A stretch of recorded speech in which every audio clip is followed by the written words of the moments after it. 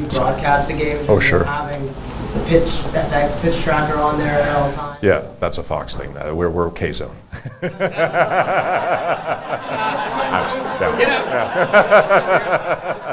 Oh, 100%. Um, I think you can overdo it a little bit sometimes with, with the technology, but I think, you know, there was a play, and this is a Fox thing actually, it was in the playoffs in 2012. I think it was Hunter Pence where the bat hit the ball three times. Do you remember that? That's the craziest thing I've ever seen. And that's the super slow mo, whatever you call it. That's, uh, that's changed baseball. I mean, obviously for replay, that's changed baseball. Um, but in terms of how I broadcast the game, yeah, it, it's, it, it's a quick story. So my dad, my first year, I'm at TSN, and I said, "You want to?" They, they took him to at the time it was called Dome Productions, the television studio area, and he saw all the stuff. And then somebody walked him up to the booth for the second inning, and he hung out for an inning. And I said, "You want to hang out here?" He goes, "Can I go back to the production studio? It's kind of cool back there." And I said, "Dad, I'm your son. I'm, what, what are you doing?" You know. So, and but the technology is really great. You've got on a Sunday night game, I think we've got 16 cameras and 12 tape machines, and there's all kinds of bells and whistles that you can do, and it, it's really cool.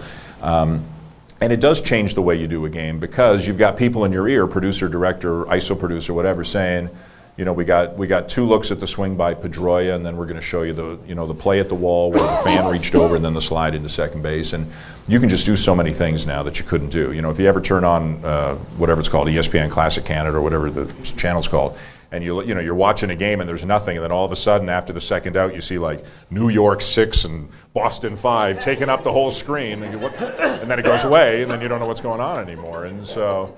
But, but even that's a silly little thing. We call that the bug, okay? Which has, so not only do you have pitch speed and outs and count and score, but now stuff pops up like, you know, Pedroia six for his last 11, gone, just like that. So I don't have to worry about, I, I, if you actually watch a game, I hardly talk numbers at all. It's all right there. And, and, and that kind of frees me up to just be more conversational and, uh, I always thought the best baseball game sounds like two guys sitting at a bar watching a baseball game, talking like that, and that's that's what I try to do actually. So, yeah. We read them off the screen for the radio people. Actually, one of the first pieces of advice Dan ever gave me when I started into the play-by-play is be the bug on the radio. Yeah, you gotta gotta, be the yeah, bug. yeah, and then that's the funny thing. On the radio, it's the opposite.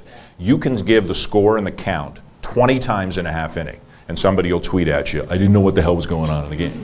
Which is why those Blue Jays simulcast spring training games, I understand, very went hard. over so well Yeah, for the radio audience. Yeah, and radio, you have to do it over and over and over. And they're different, they're enjoyable in different ways, really.